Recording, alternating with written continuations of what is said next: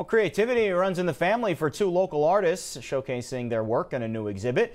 Wagner College is featuring Dennis and Keri Sheheen this month as part of its Spotlight Gallery. The father-daughter duo produced dozens of pieces for the exhibit located inside the Horrmann Library.